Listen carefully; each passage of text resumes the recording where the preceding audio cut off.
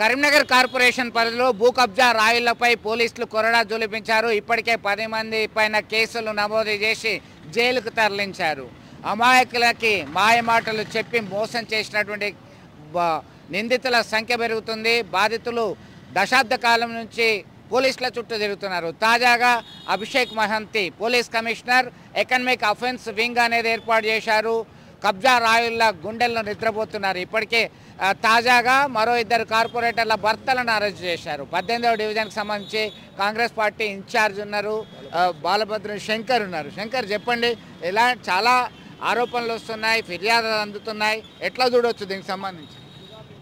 కొత్త రాష్ట్ర ప్రభుత్వం ఏర్పడ్డ తర్వాత ఏదైతే ఎన్నికల ముందు గౌరవ ముఖ్యమంత్రి గారు గత బీఆర్ఎస్ ప్రభుత్వంలో పేద ప్రజల భూములపై అక్రమంగా చూడబడి సెటిల్మెంట్ చేస్తూ ప్రజలకు భయభ్రాంతులకు గురి చేసిరో అలాంటి వారిపై ఉక్కుపాదం మోపుతా అని చెప్పేసి ముఖ్యమంత్రి గారు ప్రకటించడం జరిగింది. అదే మాట ప్రకారం మాట తప్పకుండా ఇప్పుడు ఇప్పుడున్న పరిస్థితుల్లో పేద ప్రజలకు అండగా ఉంటూ ఎవరైతే భూ కబ్జాలకు పాల్పడ్డారో వాళ్ళను క్షుణ్ణంగా పరి పరిశీలించి దానికి ఒక సపరేట్ వింగ్ వేసి అంటే సీట్ వేసి లోతుగా లోతుగా విచారణ చేపట్టి దాంట్లో పాత్రధారులు కావచ్చు సూత్రధారులు కావచ్చు వాళ్ళందరినీ లోతుగా విచారణ చేసి వాళ్ళని అరెస్ట్ చేసి లోపలికి పంపించడం జరిగింది. అంటే ఎట్లా చూడొచ్చు? దాదాపు లేని భూమికి కోటి ముప్పై ఏడు లక్షల రూపాయలు వసూలు చేశారు. రెండు వేల పద్నాలుగు నుంచి తతంగా నడుస్తుందని చెప్పేసి ఆరోపణలు ఫిర్యాదులు అందిన నేపథ్యంలో పోలీసులు చర్యలు చేపట్టారు. ఇప్పుడున్న పరిస్థితుల్లో మా పద్దెనిమిది డివిజన్ సంబంధించి కార్పొరేటర్ భర్త కృష్ణాగౌడ్ గారు పాపం విమలాడకు చెందిన వ్యక్తి రాజులు గుంగుల రాజురెడ్డి అని చెప్పేసి తనకు పట్ట వేరే వాళ్ళ మీద ఉంది.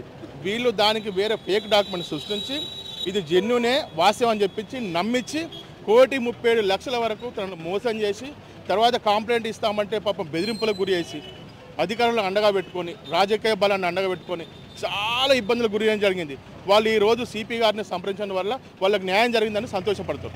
మరొక కార్పొరేటర్ భర్త సైతం దీనిలో ఇన్వాల్వ్ అయినరు. ఆ ఇద్దరిని అరెస్ట్ చేసి రిమాండ్ చేయడము దాదాపు పది మందికి పైన చర్యలు తీసుకున్నారు. ఇంకా చాలామందే ఉన్నారు? ఇలాంటి పరిస్థితిలో మోసాలకు గురైనటువంటి వాళ్ళు అమాయకులు. ఇప్పటికీ ఇది మొదలు మాత్రమే.